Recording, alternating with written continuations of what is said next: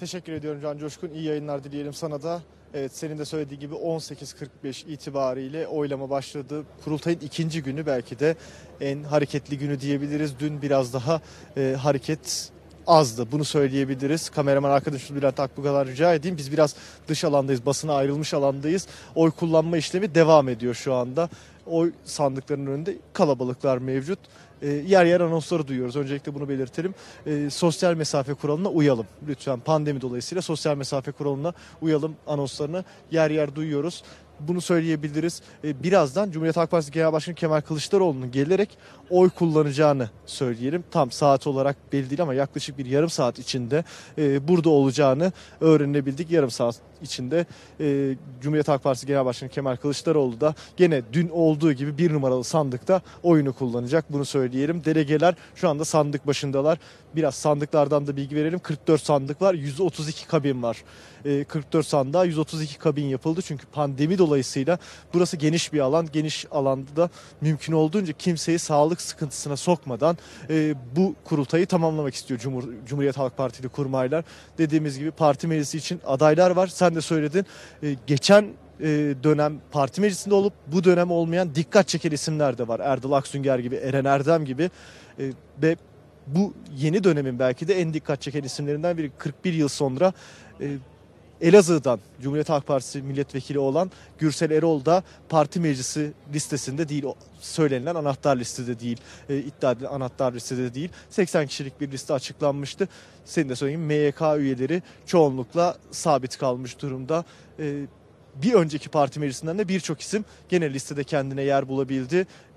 Büyük bir ihtimalle de e, bu alabildiğimiz duyumlar kulis bilgileri çerçevesinde bakınca da e, bu listede geçtiğimiz dönemde hemen hemen eşdeğer bir e, oylama sonucu çıkacağına dair bir kulis bilgisi alabildik. Delegelerin de konuştuğumuz, nabzını tuttuğumuz delegelerin de ortama aynı minimalde karar vereceği yönünde bilgiler geldi Can Coşkun. Dediğimiz gibi oy kullanma işlemi 18.45 itibariyle başladı.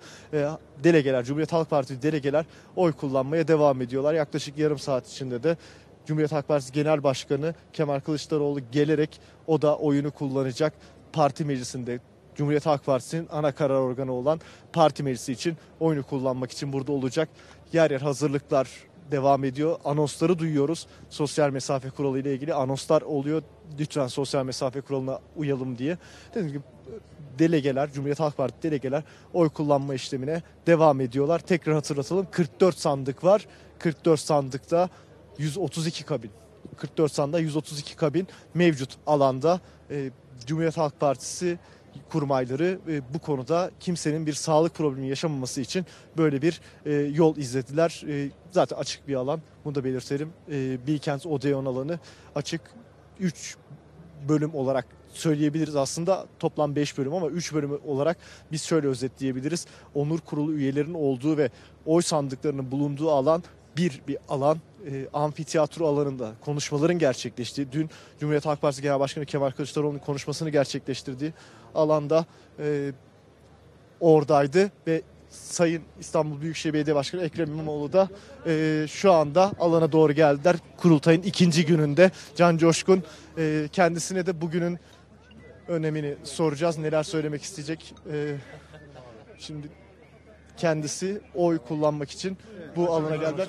Sayın İmamoğlu neler söylemek istersiniz? Bugün parti meclisi İnşallah genel başkanımıza en üst seviyede katkı sunacak iyi bir ekip genel başkanımızla bir arada güzel bir yolculuğa çıkarlar. Çünkü bu yolculuk kıymetli dediğim gibi dün de söylemiştim. Türkiye'nin e, değişimi, Türkiye'nin geleceğiyle ilgili en kıymetli e, kurul belki de oluşacak bugün. Genel başkanımızın en büyük destek alacağı heyet oluşacak. E, inşallah en doğru şekliyle neticelenir.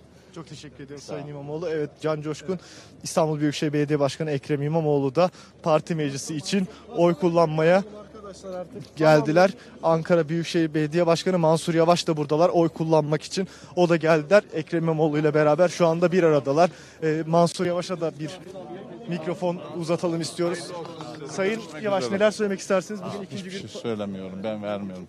Te- teşekkürler. Kolay gelsin. Evet Mansur Yavaş oyunu kullandı ve alandan ayrılıyor Can Coşkun. Ee, Yeni Mahalle Belediye Başkanı Fethi Yaşar'la beraber Ekrem İmamoğlu dediğimiz gibi e, o da şimdi alana oy kullanmak için e, geldi. Parti meclisinin Cumhuriyet Halk Partisi'nin ikinci gününde kurultayın ikinci gününde e, burada kurultay heyecanı devam ederken oylar kullanılmaya devam ediyor. 18.45'te başlamıştı. Oy kullanma işlemi yaklaşık olarak geçtiğimiz dönemle eşdeğer bir saatte bitecek büyük bir ihtimalle.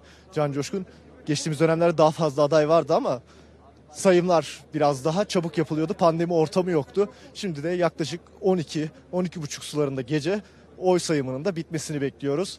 Ayrıntılar Erdinç geldikçe de aktarmaya devam Bülent edeceğiz. Akbuğa çok teşekkürler. Arkadaşlarımız CHP kurultayından son nabzı aktardı bizlere. Son durumu aktardı ve Erdinç bir özel röportaja daha imza attı. Ekrem İmamoğlu ile konuştu. İstanbul Büyükşehir Belediye Başkanı Ekrem İmamoğlu'nun kurultay ve parti meclisi yarışına dair düşüncelerini Halk TV canlı yayınında almış olduk efendim.